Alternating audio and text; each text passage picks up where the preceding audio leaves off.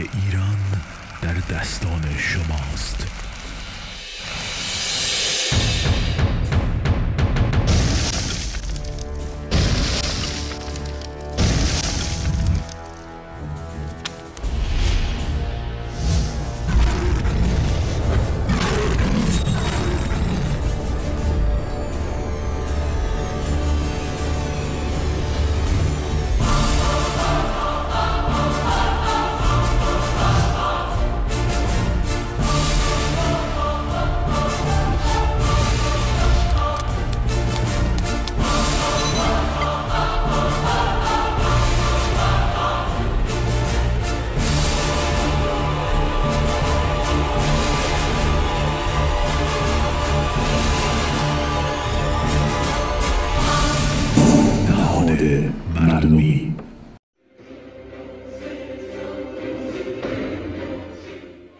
انگیزه شکلگیری نهاد مردمی از سوی بخشی از کنشگران سیاسی در درون و برون از ایران فرایندی است برخواسته از خروش ملی و جنبش سبز آزادیخواهی مردم میهنمان بر ضد حکومتگران و نظام بیدادگری که در سی و یک سال گذشته با سرکوب و زیر پاگذاری حقوق مدنی و ملی ایرانیان موجودیت اشغالگر ویرانگر و بیگانه خود را بر ملت ایران تحمیل کرده است.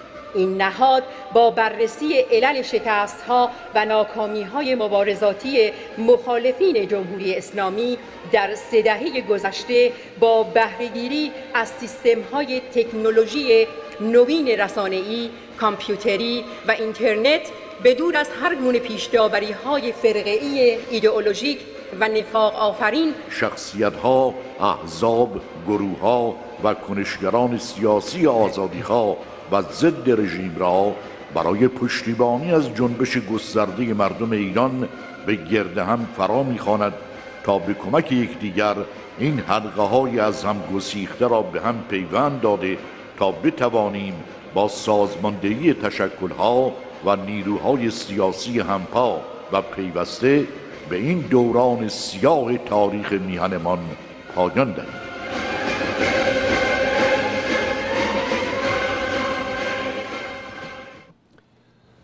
با درود خدمت همه هموطنان عزیزم در سراسر جهان. من امروز من ایمان فروتن یکی از 1447 یکی از 1447 پیشگام نهاد مردمی هستم. جایگاهی برای همه آنهایی که به دنبال آزادی و رهایی مردم ایران هستند از چنگال این حکومت ملاها. هموطنان عزیز امروز برای نهاد مردمی برای من مسلما و مطمئنم برای همه شما عزیزان روزی هست بسیار بسیار بسیار بزرگ. در حالی که این همه شلوغی در دنیا هست و مصر اونجوری و نمی‌دونم یمن و اردن و غیره و فلان و خب در کشور خودمونم که ناراضی ها می‌دونید تا چه حدی رسیده و به خصوص در این اواخر ما به نظر من باید اون در اون زمانهایی که می شود کمی شادی کنیم و خوشحالی کنیم برای موفقیت های نسبی که به دست میاریم این فرصت رو بگذاریم و چند ده دقیقه واقعا لذت ببریم و شادی کنیم. امروز برای من ایمان فروتن یکی از شادترین و بهترین روزهای زندگیم هست به خصوص در این دو سال و نیم گذشته. دو سال و نیم پیش با یک ایده با یک تئوری کاری شروع شد که ما امروز اون رو به نام نهاد مردمی می‌شناسیم. در اون بر اساس تحلیل هایی که شده بود بررسی هایی که شده بود از کوتاهی های گذشته اشکال هایی که در سی سال گذشته در بین اپوزیسیون خارج از کشور احیانا بوده با تمام تلاش ها و ایثاریایی کردن طرحی پیشنهاد شد که گفتیم اگر بر اساس این طرح برویم اگر همه ما دور یک هدف و پنج اصل فقط جمع بشویم. با استقلال فردی و سازمانی و هر نوع ایدولوژی که داریم بیاییم در چارچوب یک هدف و پنج اصل با احترام با هم صحبت کنیم شکیبا باشیم و صحبت دیگران رو بشنویم و به طور خلاصه دموکراسی رو تمرین بکنیم. بر اساس اون کتاب پنج است. بیاییم و جایگاهی رو درست کنیم. توسط اشخاص حقیقی در یک فضای مجازی. و بیاییم برای اولین بار به طور بسیار شفاف انتخاباتی برگزار بکنیم با هر تعدادی که داریم و سعی بکنیم نشون بدیم به خودمون به دنیا و به خصوص مردم عزیزمون در داخل کشور که می شود این حرفهایی رو که سالهاست به عنوان تئوری می‌زنیم آزادی و نمی‌دونم حقوق حق حقوق مردم و منشور حقوق بشر و غیره بیایم و اجراش بکنیم. هموطنان عزیز مفتخرم به اطلاع همه شما عزیزان برسانم که اولین انتخاباتی که برای انتخاب افراد در یک انتخابات آزاد در یک فضای مجازی نهاد مردمی برگزار شد و دیروز که روز چهارشنبه بود ساعت چهار بعد از ظهر مهلت رأیگیری این انتخابات به پایان رسید. انتخابات برای تشکیل گروه موقت بازرسی و نظارت بر انتخابات که کار مهمی در پیش دارند و اون تدارک و برگزاری انتخابات دوره اول هیئت امنای نهاد مردمی است. بعد از پایان مهلت رأیگیری و بعد از بررسی اعضای گروه موقت آینامه که مسئولیت نظارت بر این انتخابات و تایید نتایج آن را داشتند که در جلسه ای که دو ساعت پیش بود ساعت 11 و نیم صبح امروز به وقت غرب آمریکا در یک جلسه این جلسه برگزار شد صداش ضبط شد به زودی امروز یا فردا روی سایت گذاشته خواهد شد و نتایج اون انتخابات تایید شد. هموطنان عزیز با هم نگاه می‌کنیم ببینیم که نتایج این انتخابات به چگونه بوده است. الان روی سایت هست با هم نگاه می‌کنیم. روی سایت نهاد مردمی اگر روی دکمه انتخابات فشار بدهید. در قسمت انتخابات گذشته این بالایی انتخابات گروه موقت بازرسی و نظارت بر انتخابات رو اگر روش کلیک بکنید می‌بینید که همه با هم می‌تونیم الان نتایج رو, نتایج رو نگاه بکنیم. هموطنان عزیز از میان این نه نفر کاندیدی که خودشون رو برای این انتخابات نامزد کرده بودن سه کرسی خالی رو این سه نفری که با رنگ سبز مشخص شده اند بانو ندا سلطان فر با بالاترین تعداد آرا که چهل و دو رأی بود و سپس آقای فرهمند کلایه با سی و یک رأی و سپس آقای توسل رفی با سی رأی بالاترین آرا رو آوردن. همینطوری که می‌بینید عزیزان دیگر تعداد آرایی که آوردن اینجا مشخص است و تعداد درصدی که با هم جمع بکنید میشه 100 درصد میشه اکچولی 100 ممیز نقطه یک ولی اون یکش به خاطر خورده های سرقمی هست. اجازه بدید که اینجا تبریکی داشته باشم. از طرف خودم از طرف گروه موقت آینامه و از طرف تمام پیشگامان نهاد مردمی و به خصوص مردم ایران در وهله اول به این نه نفری که خودشون نامزد کردن. تو آمریکا وقتی که جایزه اسکار رو می‌خوان بدن همه هر کسی میاد صحبت می‌کنه میگه برنده اون پنج نفری هستن که برصد انتخاب شده بودن نامینیت شده بودن برای کاندیدای آخر و اون یه نفری که برد خب حالا جایزه رو برد. این نه نفر از لازم من حداقل برنده هستند به خاطر اینکه پا جلو گذاشتند و آنچه که داشتن در خلوص در طبقه خلوص آوردن و مردم گفتن بفرمایید و ما آماده ایم خدمت کنیم و مردم بر اساس هر دلیلی که داشتن و تصمیم گرفتن این سه عزیز رو انتخاب کردن. حالا اجازه بدید که ما نگاه بیشتری دقیقتری داشته باشیم به اینکه جزئیات این چه بود. در این قسمت دست چپ اگر همونجوری که مشاهده میفرمایید تعداد کرسی های خالی در این انتخابات سه بود تعداد نامزدها در این انتخابات نه بود. تعداد رأی دهندگان 68 نفر. یعنی تا دیروز که رأیگیری هنوز ادامه داشت از 119 نفری که 119 نفر حق رأی داشتن و از اون 119 نفر 68 نفر از حق رأیشون استفاده کردن. فکر می‌کنم 68 تا کنون بالاترین تعداد آرام هست. ازیادی من بیلوکس هم در این حال شروع, شروع کنم وضع کردن.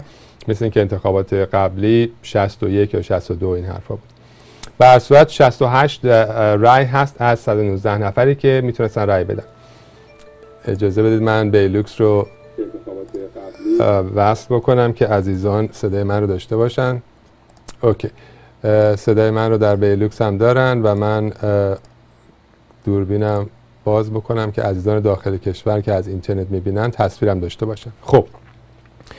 دوباره رو سایت نگاه می‌کنیم ببینیم که تعداد آرایی که انداخته شد 179 بود که الان توضیح میدم و تعداد دفعاتی که این صفحه باز شده 2113 یعنی 2313 بار این صفحه توسط افراد مختلف باز شده و نگاه شده بهش و در ضمن چهار دفعه هم این صفحه از طریق پخش شبکه‌ای به جای دیگه فرستاده شده. سه دفعه این صفحه رو عزیزان در فیسبوک پخش کردن یک بارم در سایت بالاتری. حالا اول اجازه بدید که کلیک بکنیم و ببینیم که چه اشخاصی از حق رأیشون استفاده کردن و رأی دادن. این گزارشی که شما الان می‌بینین این دقیقا همون گزارشی هست که شبیه به همون گزارشی هستش که گروه موقت یعنی گروه بازرسی می‌بینن. یعنی قبل از اینکه به طور عام نتایج معلوم بشه این گروه موقت یا گروه بازرسی و نظارت بر انتخابات چه در گذشته چه در آینده یک همچین گزارش رو می‌بینن می‌بینن چه اشخاصی رأی دادن چه تاریخ رأی دادنشون و اگر سوالی باشه جواب میدیم که در تاکنون در هیچ کدوم از این انتخابات هیچ سوالی نبوده. بنابراین اجازه بدید که با هم نگاه بکنیم. من ببینم می‌تونم سفر کم بزرگتر بکنم. نه. خب پس تاریخ شروع رأیگیری روز 31 ژانویه ساعت 4 بعد از ظهر. پایان رأیگیری دوم فوریه 4 بعد از ظهر. تعداد آرای انداخته شده 179 و کاندیداها به ترتیب ندا سلطان فت 42 رای عباس عزازاده 9 رای رضا کیا 20 رای پرویز حدادی 19 رای توسل رفیعی 30 رای ابراهیم گنجی 6 رای سیامک رفیعزاده 12 رای رامین حقجو 10 رای و فرهمند کلایه 31 رای. اشخاصی که رای دادند از صفحه آخر شروع می‌کنیم که به ترتیب زمان رأیگیری است. یعنی اولین کسی که رای داد در این انتخابات خانم اجازه بدید که من بتونم عکسشون شاید روده نمی‌دونم چرا عکسش رو خانم سهیلا نیکپور بود که تقریبا یک دقیقه و یازده ثانیه بعد از شروع انتخابات رأی دادن. بعد آقای علی آینه آبتین آینه عزیز از سوئد آقای آرش مهدوی از آمریکا آقای توسل رفیعی از انگلیس هموطنان عزیز توجه بکنید سیستم و نحوه رو که از این همه کشورهای مختلف ما تونستیم یک انتخاباتی برقرار کنیم بدون اینکه لازم باشه سوار هواپیما بشیم و بریم اون کشور یک کشور دور هم جمع بشیم. خانم مهناز هایری از نروژ آقای آرش شینی از آمریکا آقای افشین عزیزیان. البته همونطوری که می‌دونید به یک دلیلی که هنوز ما دنبالش هستیم بعضی از این کشورها از اون کشوری که اول بوده عوض شده همونجوری که در یکی از جلسات تلویزیون هم اشاره کردیم بعضیا شد عوض شده به آمریکا. من افشین عزیزیان می‌دونم در انگلیس هست که باید درستش بکنیم بشه انگلیس. فکر کنم آقای آرش شینی هم از یک کشور اروپایی بودن به هر صورت. مثل اینکه از سوئد یا نروژ. آقای آرش شینی آقای مهندس فرشید آزاد که می‌دونیم از کانادا هستن. اجازه بدیم بریم صفحه بعدی. آقای روح الله لطیفی از نروژ آقای پرویز حدادی زاده از آمریکا خانم امام محب زندی از فرانسه فرهمند کلایی از آمریکا پنسیلوانیا آقای مهران دیوان بیگیزند از مریلند آمریکا آقای محسن عبداللهی از آمریکا آقای هادی گلرنگ از کانادا آقای حامد پیام پیام امیر سلیمانی از آمریکا آقای رامین حقجو از آمریکا و خانم سیما بهمن از آمریکا. صفحه بعد این اسامی به ترتیب زمان رأی دادن این عزیزان هست. آقای رضا ایسازاده از کانادا. آقای مرادخانی می‌دونیم از فرانسه هستن. منظور جنا رو یادداشت کن که بعد من درست کنم. آقای مرادخانی از فرانسه. خسرو دانشور از انگلیس. رضا کیا از انگلیس. مهدی علی شینی از نروژ فرهاد پیر غیبی از تایوان آریا قجر از آلمان بهرام آبتین از آلمان بیژن کریمی از آمریکا پوریا تقیزاده آب کناری از آلمان. صفحه بعد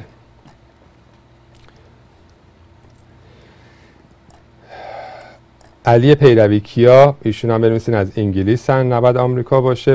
مریم اکبری از ترکیه رضا خان مرادی از نروژ مهرنوش کلایی از آمریکا علی عباسی از یونان سم کازمی از کانادا ناصر صنعتی از آلمان سارا سفیری باید باشه سوئد لطفا اینم بنویسید که عوض بشه درست بشه. آقای فرخبه پیرنیا از آمریکا. آقای سیروس پارسی از آمریکا. صفحه سه. بانو مهین ارجمند از آلمان. مهندس حسن کیانزاد از آلمان. آقای جمشید نمین از ایشون هم فکر کنم از انگلیس هم بنویسیم بعد یادداشت بکنه نوشته آمریکا. آقای مجید نجفیان از قبرس آقای احمد حکمت از آمریکا. بانو مری منصور کلانی از آمریکا خانم گیشا ادواردز از استرالیا آقای آرام حسامی از آمریکا آقای علیرضا سمیعی از آمریکا ایمان فروتن از آمریکا. صفحه بعد خانم نسترن نصیرزاده از فنلاند آقای ابراهیم گنجی از آمریکا آقای سیامک رفیزاده از کانادا آقای مهدی یکانی فرد از آلمان آقای شهرام ناصری از فرانسه. خانم ندا سلطانفر ایشون از اروپا هستن می‌دونم اینم بعد درست بشه کشورشون. آقای منوچهر اسقریان سوئد. آقای تحمورس یاسمی سوئد. آقای رسول عباسی کانادا. و آقای پوریا نژاد ویسی از یونان. و بالاخره صفحه آخر رای دهندگان آقای حامی وسوقی ایشون هم فکر کنم از انگلیس هن. اینم لطفا بنویسید درست بشه. آقای خسرو چاوشی از سوئد. آقای ایرج شاه ولایتی از آمریکا. خانم آهنگ زفری از آمریکا. آقای امیر دوشوکی از سوئیس. آقای حمید علی مردانی از کانادا. آقای علی رمزی از آمریکا. آقای ایرج رستمپور از آمریکا. آقای فرشاد ورهرام از سوئد و خانم بنفشه زند بنفشه زند از آمریکا. هموطنان عزیز این بود نتایج اولین انتخابات.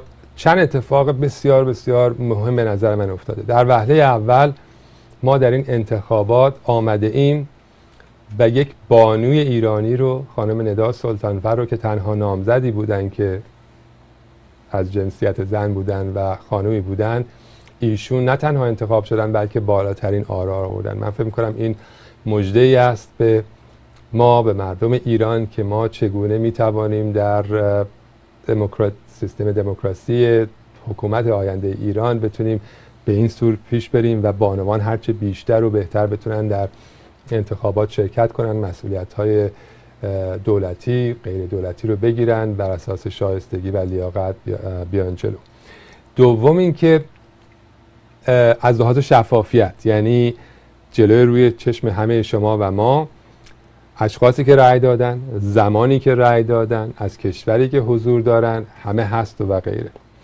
حالا در رابطه با و یه نکته دیگه هم بگم و در, در رابطه با تعداد آرام صحبت بکنیم.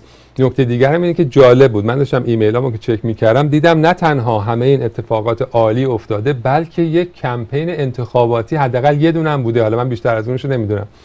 ایمیلام باز می‌کردم دیدم که آقای توسط رفی چون کامپیوتر بلد و می‌خواه سیستم هم تست می‌کنه رفته بود یک ایمیلی نمی‌دونم حالا به چند نفر به منم زده بود ولی مثل که به چند نفر از زده بود تک تک رفته بودم به این شخصیت های حقیقی یک ایمیل زده بودن که من توسط رفعی هستم. من انقدر سابقه کار دارم. یکی از مشخصات اشخاصی که انتخاب میشم باید اینترنت باشه. من بلدم اینترنتم و دارم از این راه خودم به شما بیشتر معرفی می‌کنم و امیدوارم به من رأی بدید. یعنی کاری بسیار قانونی و درست و امیدوارم که ما هرچه بیشتر و بیشتر بتونیم از این کار بکنیم. داریم تمرین می‌کنیم داریم امتحان می‌کنیم. ولی در ضمنی که داریم تمرین و امتحان هم می‌کنیم مسلما سیستم رو باید بهتر و بهتر و بهترم بکنیم. برای مثال صفحه کامپیوتری که نگاه بکنین هموطنان عزیز می‌بینید که اینجا نوشته تعداد رای دهندگان 68 تعداد آرا 179 حالا اگه من بتونم برم اینجا و از توی قسمت کامپیوترم یه ماشین حساب باز بکنم که همه ببینید. در این ماشین حساب اگر هر 68 نفر نفری سه رأی می‌دادن ما باید 204 رأی می داشتیم ولی 179 داریم. پس یعنی چی؟ یعنی همه این افرادی که رأی دادن عزیزان همه به سه نفر رأی ندادن. یا عمدن یا اشتباهی.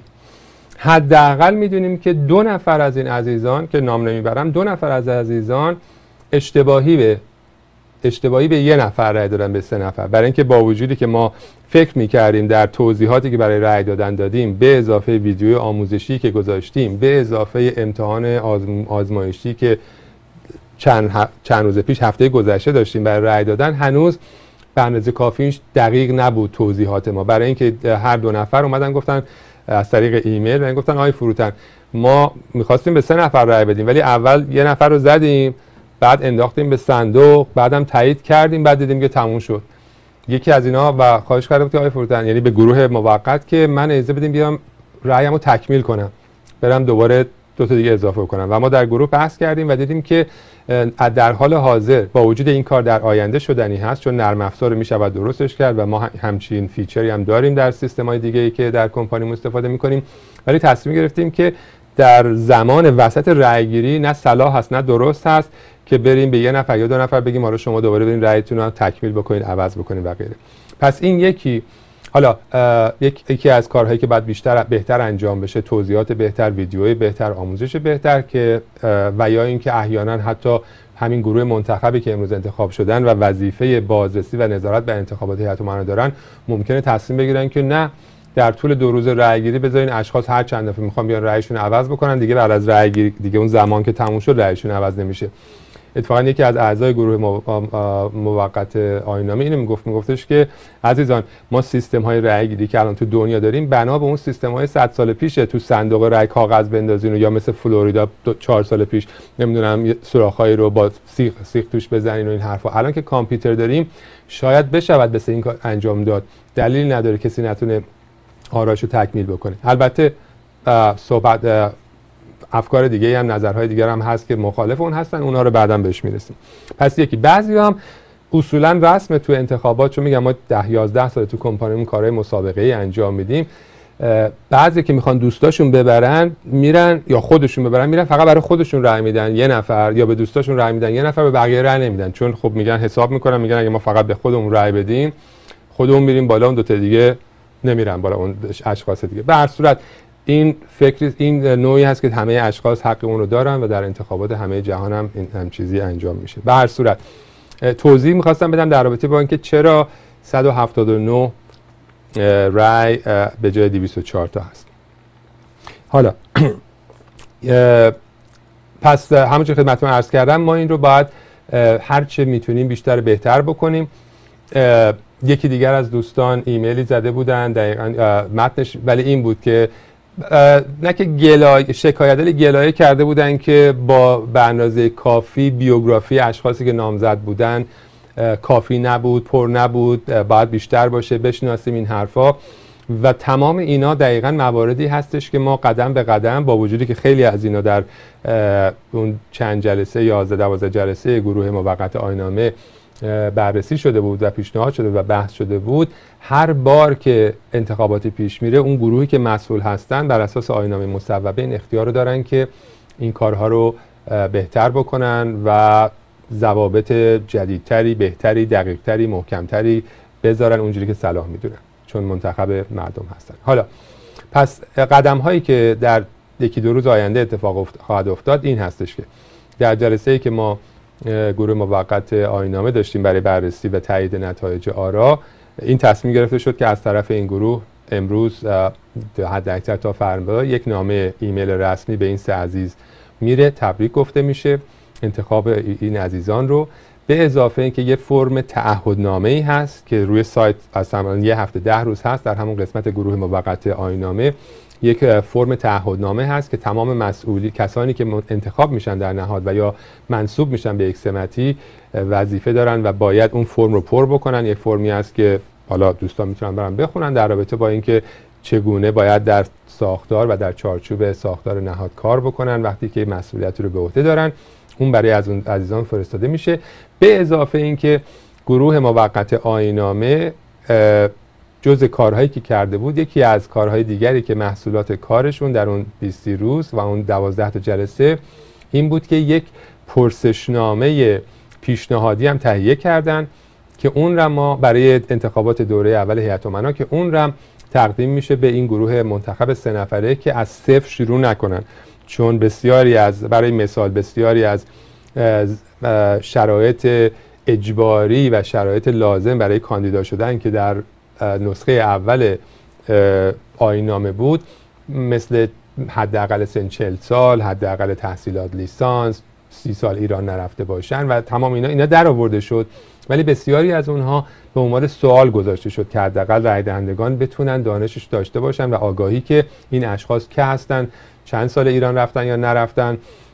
تحصیلاتشون چه هست هفته چند ساعت می‌تونن کار کنن و خیلی مسائل دیگه. بنابراین اون فرم هم ما به این گروه سه نفره خواهیم دید داد و بنا به آینامه به احتمال زیاد دعوتی خواهد شد از عزیزان فردا اگر بشه روز جمعه بعد از برنامه تلویزیونی یک جلسه ای باشه که اون جلسه مسلما ضبط خواهد شد دوباره به خاطر شفافیت و گروه موقت آینامه رسما این پرسشنامه رو به این عزیزان میده و ازشون دعوت خواهد کرد که کار خودشون رو شروع بکنن. به محض اینکه این گروه کار خودشون شروع کردن این گروه موقت آینامه که الان یه ماه تقریبا دارن کار می‌کنن یه ماه خورده ای که دکتر کیانزاد دکتر کریمی جناب خسرو چاوشی جناب آرش مهدی و خود بنده بودیم. کار ما دیگه فردا تموم میشه و گروه ما منحل میشه. بنابراین دیگه گروه آینامه نخواهد بود. اختیارات انتخابات هیئت امنا دست این سه نفر خواهد بود. اینها تدارک می‌بینن اینها برگزار می‌کنن اینها نظارت می‌کنن. مسلما اگر سوالی هم داشتن از گروه آینامه که منظورتون از این جمله چه بود تک تک ما هستیم و گروه هست که رسما پاسخ بده.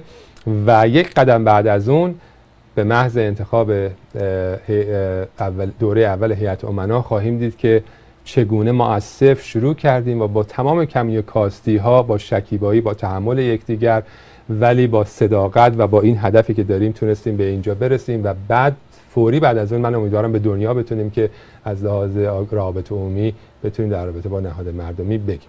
حالا پس من اجازه می‌خوام که در اینجا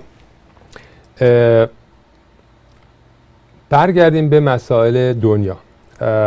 در رابطه با انتخابات صحبت کردیم.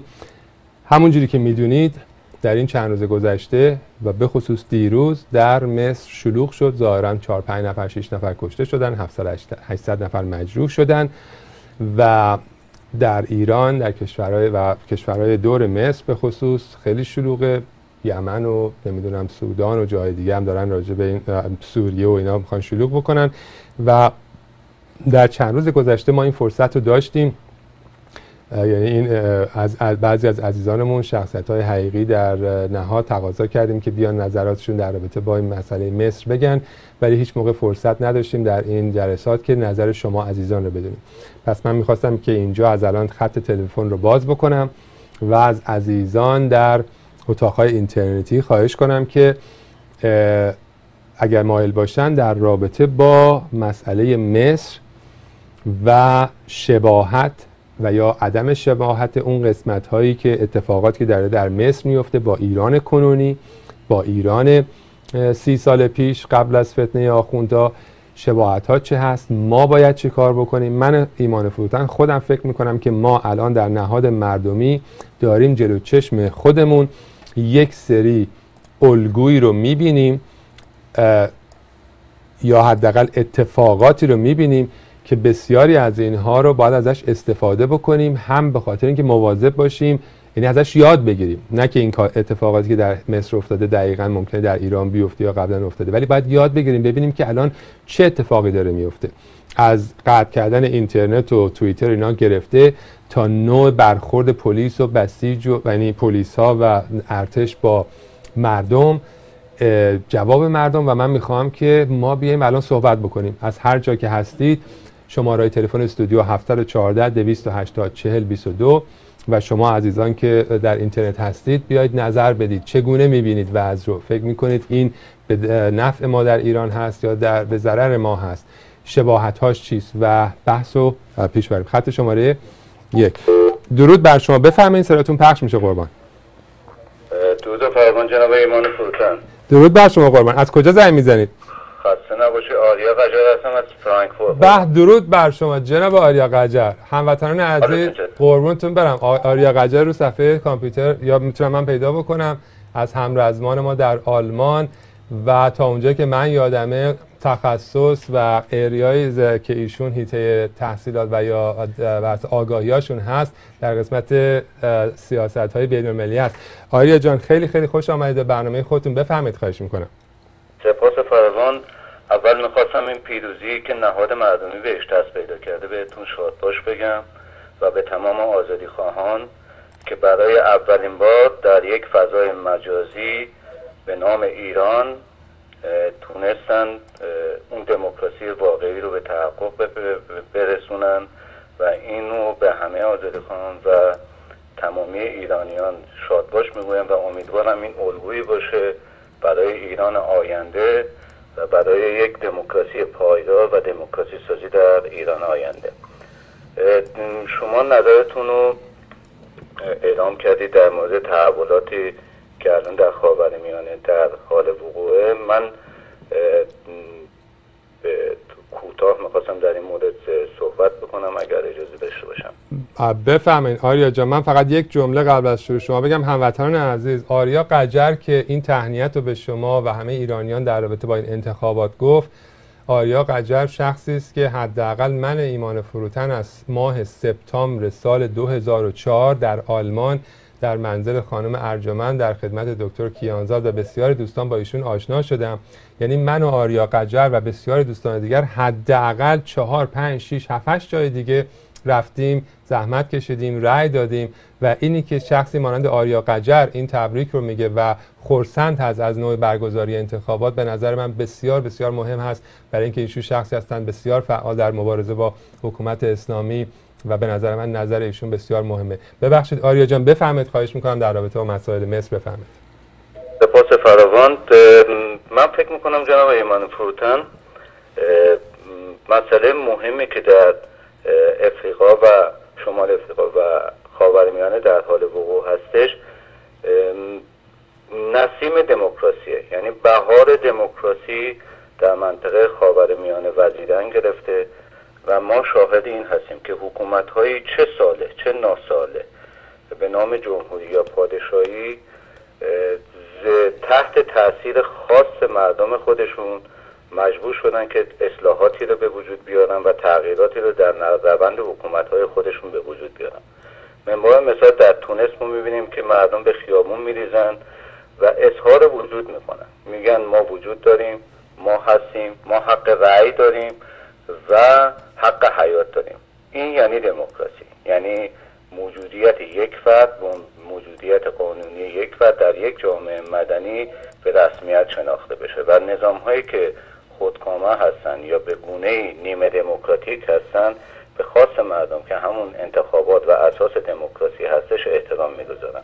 و ما ببینیم در تمام این کشورها میان و تعیین حق حق حضور به تمام احزاب سیاسی میرن و همه خواستار این هستن که دولت ائتلافی به وجود بیارن. یعنی در یک جامعه بازی دموکراتیک و که دموکراسی در اون جامعه رعایت بشه فعالیت های احزاب و سازمان ها و نهادهای مدنی که تعریف اون جامعه رو می‌کنه و ما می‌بینیم به صورت نیمه پخته این کشورها دارن به یک دموکراسی نوپا می‌رسن. و این واقعا جای بشارت داره. و ما می‌بینیم بعد از اون تونس در مصر در یمن این این عمل انجام میشه و می‌بینیم در مصر با وجود تمام حتی این درگیری هایی که در مصر الان وجود داره بین مخالفین و موافقین این خودش به درست حالت نافرمانی مدنی خشونت آمیز داره ما بین خودشون. ولی این خودش نماد اینو میده که اینها به یک دموکراسی رسیدن. حالا این دموکراسی چون تو فرهنگشون به این صورت نبوده الان به صورت خشونت آمیزه ولی مدت زمانی نخواهد کشید که با میانجیگری اتحادیه اروپا و کشورهای غربی و حتی کشورهای عربی حوزه خلیج فارس و کشورهای خاور دور اینها هم به اون دموکراسی یعنی به اون نهاد دموکراسی واقف خواهند شد و ترجیح میدن به جای اختشاش و ناآرامی نمایندگانشون در پارلمان در دولت ائتلافی شرکت بکنه. و ما شاهد این هستیم که در گوش و کنار این به وجود اومده و احزاب و نهادها و سازمان هایی که وجود دارن مثلا مخالفت می‌کنن با آقای مبارک طرفداران آقای مبارک مخالفت می‌کنن با اینها که این درگیری ها ولی در یک جایی طبق خاصی یا بیانیه هم که اتحادیه اروپا پنج کشور اروپایی دادن اینها در یک جایی به دور اون میز خواهند نشست و به اون اعتلاف می‌رسن و همین تحول رو ما می‌بینیم در الجزایر پیش بینی می‌کنن و فضای باز سیاسی به وجود میارن از احزاب درخواست می‌کنن که در این تحول شرکت بکنن در اعتلاف شرکت بکنن. این خودش دوباره نسیم دموکراسی در اون منطقه. و ما می‌بینیم در کشور مثلا اردن قبل از اینکه بخواد مسئله پیش بیاد دولت از دولت سقوط می‌کنه دولت جدیدی میاد و از تمام احزاب گروه های سیاسی حالا به هر لباسی چه چپ چه راست چه ملیگرا چه مذهبی درخواست می‌کنن در آینده سازی کشورشون و جامعه جامعه مدنی کشورشون شرکت بکنن و تشکیل دولت ائتلافی بدن و مهمترین منطقه یعنی کشوری که این نسیم دموکراسی به اونجا وارد میشه وزیدن می‌گیره کشور سوریه هستش و ما شاهد این هستیم که بشار اسد هم تقاضایی نمی‌کنه که اون فضای یعنی تمام منطقه آماده میشه که اون گفتمان برتر که گفتمان حقوق بشری و دموکراسی جایگزین تمام گفتمان های دیگه بشه. مردم فردیت مردم مدنیت مردم رأس تمام امور قرار می‌گیره و دموکراسی و حقوق بشر در اولویت تمام گفتمان ها قرار می‌گیره. و این گفتمان گفتمان نسل جدید نسل جوان نسل نسل تحصیل, تحصیل کرده است. نسلی که با دو فضای مجازی که فضای بعد در دوران در سیستم آینده کشورها خواهد بود که نهاد مردمی هم از اون فضا به خوبی داره استفاده می‌کنه این فضا باعث این خواهد شد که نوگرایی آینده نگری به دموکراسی و حقوق بشر و پیوستن به جهان آزاد چه نظر سیاسی چه اجتماعی چه فرهنگی چه اقتصادی در لوحه در سطح تمام مسائل قرار بگیره و تبلیغاتی هم که مثلا کشورهای مثل جمهوری اسلامی در این رابطه می‌کنن که آه نمی‌دونم نسیم انقلاب و پس لحظه های انقلابه اینها هیچ در این میون نخواهد داشت. چون آتش زیر خاکستری که دمایی که اون آتش زیر خاکستر جنبش مردم ایران داشتش من فکر می‌کنم نبیدی بود برای کشورهای شمال افریقا و خاور میانه که به این تحول دست پیدا کردن. این تحول هم به گفته خود کسانی که در خیابان ها بودن و تظاهرات کردن الهام گرفته از فضای مجازی فیسبوک توییتر بوده که این بنیاد این نوع تحول و این نوع حرکت هم که همه ما می‌دونیم از داخل ایران بوده. ببخشید که طولانی شد وقت دیگر نه خواهش می‌کنم. آریا قجر عزیز بسیار بسیار متشکرم از تلفنتون از توضیحاتتون. چقدر خوشحالم که شما رو در کنار همه پیشگامان دیگر دارم و به آرزو اینکه هرچه بیشتر و بیشتر بهتر با هم همکاری بکنیم. برای ایرانی آزاد. مرسی از تلفن شما آرش آریا قجر عزیز. سپاسگزارم. سپاس فرگان بدرود. یک یکی از خط شماره دو. خط شماره دو آقای دکتر تقی آلرزا هستند. یکی از پیشگامان بنیانگذار نهاد مردمی دکتر آلرزا صدای منو دارید؟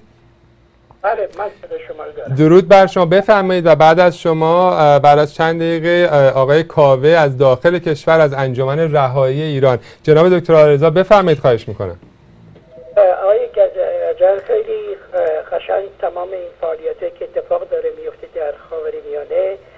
اشاره کردن و برای نتیجه که من می‌گیرم از این اتفاقاتی که داره میفته که ایرانی ها حالا می‌بینن که با اون کاری که شروع کردن خودشون ممکنه کارشون رو نتونستن تموم بکنن ولی به کشورهای دیگه نشون دادن که این کار شدنی هست و می‌تونه بشه. و با این اتفاقاتی که داره میفته در تونس که و مصر و حتی جای دیگه که داره اتفاق میفته فکر کنم که این قوت قلبی بده برای افراد داخل ایران که ببینن که این کارها شدنی هست و می‌تونن با استبداد بجنگن. تنها چیزی که من می‌خوام در اینجا بیارم اینه که اگر متوجه شده باشین این روزها فقط صحبتی که راجع به مصر میشه میگن اگر مبارک بره بعدش چی میشه؟ و این نبودن خلا بودن یک لیدرشپی یک گروهی که بتونن این رو بتونن به مملکت بتونن بگردونن. برای سه ماه شیش ماه یک سال این خلا الان باعث بزرگترین اشکالی هست که وجود آورده برای موقعیت اونجا. از این نظر ما هرچی زودتر بتونیم متشکل بشیم نهاد رو بزرگترش بکنیم و اینکلوسیوش بکنیم که افراد دیگه بتونن به ما بپیوندن و اینو بزرگترش کنیم در یه صورتی به یه صورتی برسونیم که اگر یک ماه دیگه یا ده ماه دیگه دو سال دیگه این اتفاقات در ایران افتاد کشورهای خارجی نگن که خب حالا اگر ملاها رفتن بعدش چی میشه ما بتونیم که با اپوزیسیون رو دور هم جمع بکنیم که بتونیم که یک گروهی باشن که بتونن جا به جای به جای این ملاها در ایران بتونن موقعیتی داشته باشن و بتونن این کارا رو انجام بدن من تمام خیلی متشکرم دکتر آرزای عزیز بسیار بسیار متشکرم از تلفنتون و دقیقا خود منم با شما موافق هستم و دقیقا ما امیدواریم که این نهاد مردمی بتونه اون آلترناتیوی باشه که هم برای خود ما و عزیزان داخل کشور و جهانیان اون آلترناتیو شفاف و صادقی باشه که آمادگی داشته باشه و خلای سیاسی رو در داخل کشور بعد از ملاها پر بکنه. مرسی دکتر آرزای عزیز از تماسی که گرفتید. درود بر شما. خیلی متشکرم. هموطن عزیز اجازه بدید که بریم در اینترنت و بخواهیم از یکی از عزیزانی که از ایران هستند آقای کاوه از انجمن رهایی که صحبتاشون رو بکنن از پلتاک بفهمید خواهش می‌کنم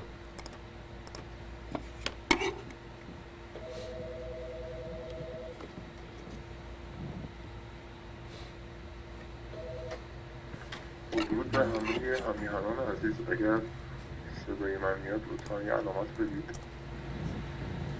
من در وقته اول تبریک میگم به همه عزیزان این سه نفر عزیزی که در انتخابات اولین انتخابات مجازی و به این شفافیت تونستن که انتخاب بشن.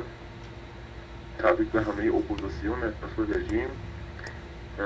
و اما در رابطه با مسئله مصر من اگه بخوام بگم به نظر من در مصر اتفاقی که افتاد. اولا این رو ثابت کرد که از دنیای مجازی میشه در یک کشوری تحولی ایجاد کرد و این نهاد مردمی که ما شیش ماه داریم در موردش صحبت می‌کنیم حدود یک ماه یک ساله که حتی درمش تبلیغ میشه همین رو تثبیت می‌کنه که بله میشه از دنیای مجازی کاری کرد. این جواب دوستانی است که میگن نمیشه و ولی در رابطه با اینکه چرا مصر پیروز شد یه مقایسه اگر بخوایم کوتاه بکنیم اینه که یک خواست مشترک و واحدی در مصر وجود داشت اینه که حسنی مبارک باید برود. در تونس هم به همین شکل بود که بن علی باید برود.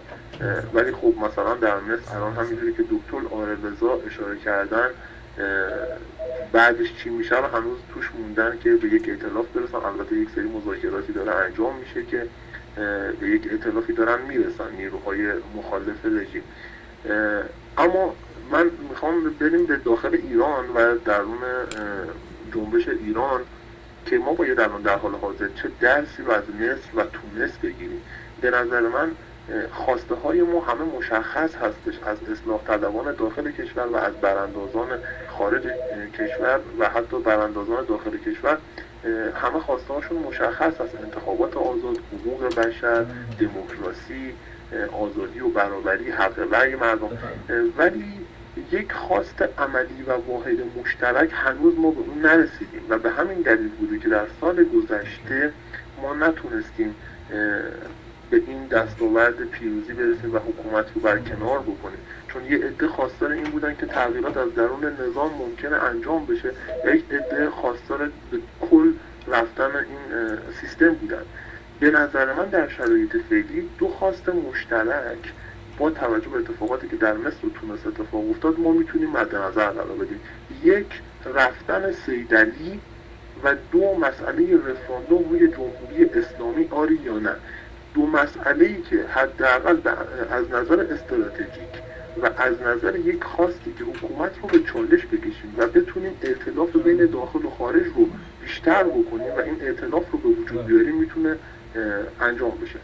که خوشبختانه آقای موسوی با هوشیاری کامل روز شنبه با تشابه قرار دادن آقای خامنه ای با فرائمه. و اینکه گفتم اگر این روند اتفاق بیفته منجر به براندازی و فروپاشی نظام خواهد شد اولا یک نشانه ای به ما دادن که بله بنده هم خواهان براندازی خواهم شد به و اینکه مسئله فقط میمونه رفراندوم. که مشاور ایشون روز دوشنبه اعلام کردن که ما 22 بهمن می‌خوام یک رفراندوم بداریم این رفراندوم خیابانی به درد نمی‌خوره چون حکومت اجازه نمیده. پس من خواهشی که از دوستان دارم و این موج داره از داخل کشور میاد بیرون که ما از آقای میرحسین موسوی تقاضا داریم که بیاد علنا و شفاف این مسئله رو مطرح کنه که ما بتونیم این رو یاد بگیریم. مسئله رفراندوم روی جمهوری اسلامی آره یا نه حداقل به خاطر اینکه بتونه یک ائتلاف بین داخل خارج ایجاد بکنه سر این مسئله که حکومت دیگه فایده نداره هیچ تغییر توش قرار نمی‌گیره و ما باید یک کاری بکنیم که این حکومت بره زیر سوال. به هر صورت اتفاقاتی که در خاورمیانه در کل داره اتفاق میفته جمع‌بندی بکنم این موج دموکراسی خواهی موج کشیدن پایین دیکتاتوری از ایران شروع شد. داره همه جا گسترش پیدا می‌کنه و به در ایران هم اتفاق خواهد افتاد. مرسی سپاسگزار از تایمی که با تشکر از صحبت شما از داخل کشور. البته اینجا لازمه که من خودم توضیح بدم که دوربین بیاد رو من. خودم لازمه توضیح بدم که ما در جنبش ایران فردا از سال همون جنبش رفراندوم مخالف این بودیم که رفراندوم آریانه و شبیه این در زمان حکومت آخوندا باشه. و این یک بحثی بسیار مهم. باید راجعش صحبت کرد. برای اینکه حداقل من ایمان فروتن به هیچ وجه قبول ندارم که حتی اگر سازمان ملل 100 تا 200 تا 300 تا 500 نفرم بفرسته اونجا رو صندوق رای آخرش جواب درست در بیاد. بنابراین به نظر من باید خیلی مواظب باشیم که چه می‌خوایم دنبال چه هستیم. برای اینکه آخونده بعد میان بفرمایید. اینم رأی گیریتون. 80 درصد گفتم بعد جمهوری اسلامی می‌خوایم. بعد وقت چی باید بگیم؟ ولی به هر باید بحث بشه. خط شماره دو. هموطنان از آقای زالزاده. بله. درود بر شما. ایمان فروتن هستم صداتون پخش میشه. بفرمایید قربان. درود بر شما جناب ایمان فروتن و تمام یاران گرامی در تمام دنیا. برای شما و تمام دوستان آرزو موفقیت می‌کنم. برای این انتخابات به شما تبریک و به شما و تمام منتخبین تبریک میگم. و برای شما و تمام منتخبین آرزو می‌کنم که ادامه کارمون به همچنین باشه و براتون استقامت بودباری و موفقیت آرزو می‌کنم. بسیار بسیار خوشحالم که این این انتخابات به این صورت اتفاق افتاد و این یه دونه موضوع محکم و استواریه که می‌تونیم روش بنا کنیم. برای همتون آرزو موفقیت می‌کنم. شبی خوش و تا انتخابات بعد جناب زازده قبل از اینکه تشریف ببرید یک من می‌خواستم به شخصه از جناب تشکر بکنم و از طرف تمام پیشگامان به خاطر اینکه همونجوری گفتم پا جلو گذاشتید. یکی از نامزدها بودید. و به قول معروف با نوعی هم که به نظر من در اون گفتگوی هفته پیش صحبت کرد چند روز پیش صحبت کردید شوخی هم با کسی ندارید. گفتید من میام اگر انتخاب بشم غیر ممکنه بذارم هیچ چیزی شبیه اون انتخابات داخل کشور باشه. واقعا من مفتخرم به عنوان یک ایرانی که در کنار شخصی مانند شما باشم. در ضمن اگر اجازه بفرمایید و مایل باشید برای توضیح بیشتر چون در درسه تلفنی گذشته شما از من به درستی گله داشتید که من پاسخ ایمیل ها رو شما ندادم امیدوارم که این دو تا ایمیلی رو که با هم رد و بدل کردیم بعد از اینکه فهمیدیم به اون ایمیل اشتباهی می‌رفتم من اینجا توضیح بدم که هموطنان بدونن که این نبوده که احیانا خدای نکرده من جواب ایمیل های شما رو عمدن نداده بودم بلکه نگرفته بودم بلکه هم از طریق نوشتار و صدا و ویدیو براتون دوستا ایمیل فرستادم. گرفتید اونا رو؟ بله اونا رو گرفتم. من خیلی متشکرم. شما برای من توضیح داده بودی. من فکر کنم این توضیحاتم کافی باشه. ما اینجا نیستیم که به همدیگه هی تنه بزنیم ما اینجاییم که همدیگه رو قوی کنیم و پیش ببریم و این شما به خوبی این جریان رو حلش کردیم. من, من فقط یه متعجب بودم چون به هر جا که براتون ایمیل فرستاده بودم به خاطر اون شخصی که شما می‌خوای پاکش کنی من سعی کردم که چند بار با شما تماس بگیرم. در موقعی که شما نتونستم بگیرم و تلفن شما هم نداشتم. ازتونم خواهش کرده بودم که من زنگ بزنید نشد متاسفانه. ولی اشکالی نداره. به نظر من این کارا اول پیش میاد بله. تا ما همدیگه همدیگه رو بشناسیم و بدونیم کی به کیه. و این به نظر من خیلی خیلی طبیعیه. شما می‌تونید رو من همیشه حساب کنید. جناب این این این اتفاق خواهد افتاد و تا زمانی که با هم دیگه صحبت می‌کنیم می‌تونیم اینا رو همه رو برطرف کنیم. درود بر شما درود بر شرف شما و بسیار متشکرم از تلفنی که زدید. هموطنان عزیز جناب زالزاده از آلمان. خیلی متشکرم. این هست نهاد مردمی. هموطنان عزیز اون چهار قدمی رو که صد روز پیش با هم گفتیم. گفتیم اول میایم با هم تماس می‌گیریم. اگه بتونیم ایمیل همو داشته باشیم با هم ارتباط خواهیم داشت. بعد کم کم میایم همکاری می‌کنیم.